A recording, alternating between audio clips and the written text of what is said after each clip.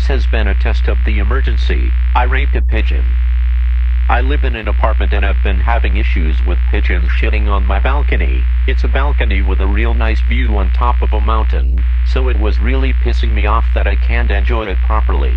I like to cook, drink my tea there, but I'm afraid of catching diseases from the pigeon shit. I read about pigeon deterrence online and tried everything.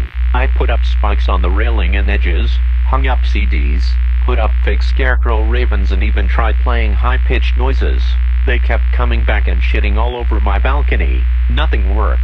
I even bought a water gun to blast them with, and it only scares them away the moment I do it, but they come back when I'm not around. Today,